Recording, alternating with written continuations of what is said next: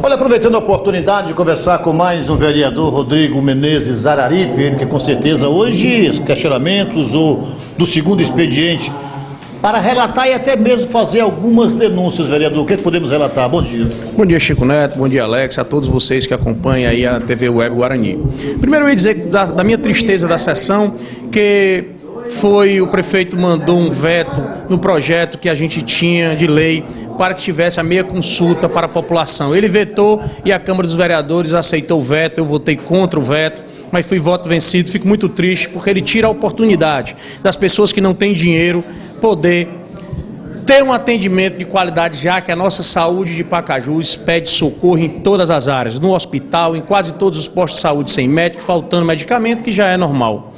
Entrando na esfera da política, eu estou respondendo, respondi no segundo expediente ao secretário Darlan, secretário de Educação, que foi infeliz no emissora de rádio, quando ele disse que o vereador Rodrigo estava tentando fazer uma politicagem. Eu olho para você, secretário, digo o seguinte: eu não faço isso, eu procuro sempre resolver algum problema da população e só vou ao local quando eu sou chamado, quando me mostram de fato a realidade. E quando eu estive no colégio, lá estava servindo leite de manhã às 7 horas, às 9 horas leite novamente. Qual colégio? Do municipal, no maior colégio que é de tempo integral. E o almoço era peixe com algum outro ingrediente e de tarde novamente o leite. Aí o secretário disse que eu falei que eu estava faltando medicamentos. Eu não disse isso. Eu disse que aqui a merenda é de péssima qualidade, as crianças estão reclamando que estão passando fome. Fora tudo isso, uma pessoa da cozinha, que eu não vou dizer pela perseguição, falou que nem verdura tinha para fazer os temperos. As crianças, de manhã, o cardápio que fica exposto na parede da cozinha, diria que às 9 horas era para ter pão com carne moída e um suco. E vocês não servem o que está expresso.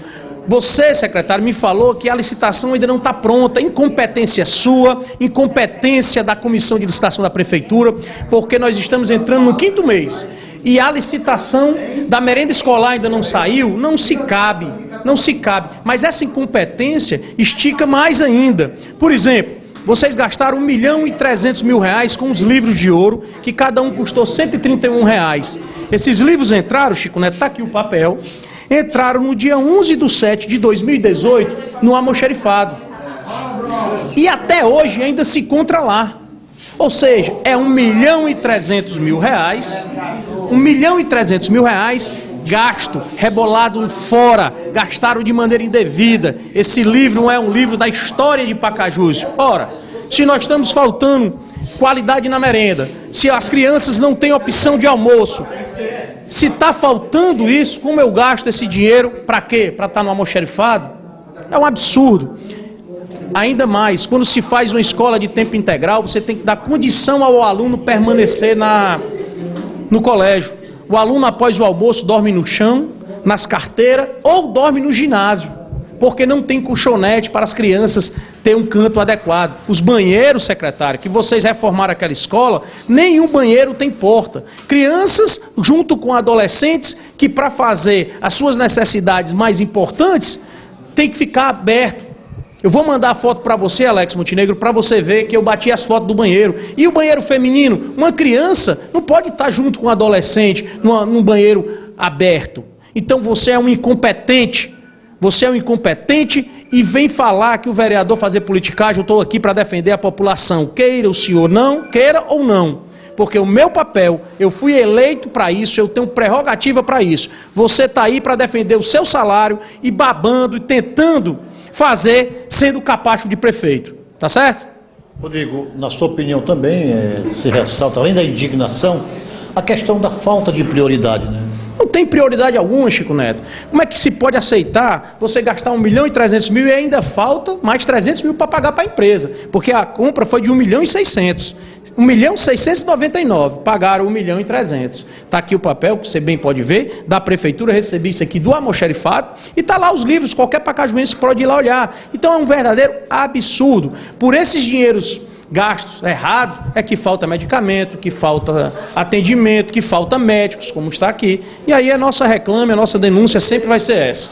Acho que é importante se fizer que é o papel do vereador acima de tudo. O papel do vereador é esse, é fiscalizar, legislar e cobrar, para que dias melhores possa vir para a população de Pacajus. Não se acovardar por achar que a administração está 100%. Eu digo, sai do gabinete e vai para as ruas. Vai perguntar às pessoas nas ruas, porque para a gente que é vereador, que é a ponte mais perto do povo, a gente escuta o reclame da população. Eu perguntei há poucos instantes ao vereador Tó que geralmente todas as, as atribuições no sentido do município estar do jeito que está, sempre recai em cima do vereador.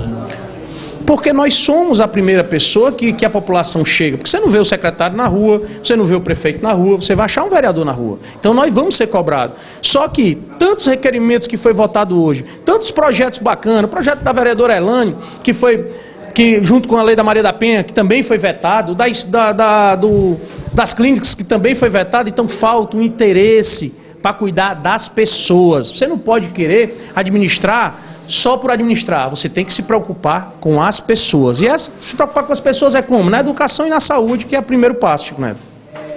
Sábado teremos a inauguração de mais uma unidade básica de saúde. Como é que o vereador vê essas obras que estão sendo realizadas? Perfeito. Essa obra era do prefeito Marcos Paixão, que está sendo finalizada agora na gestão do Bruno. É ótimo, parabéns pelo posto de saúde. Agora eu lhe pergunto, quem é o médico que vai ficar lá? Porque nós temos 10 a 11 postos de saúde sem médico sem enfermeira, quando tem médico não tem enfermeira, quando tem dentista não tem os insumos, não tem medicamento.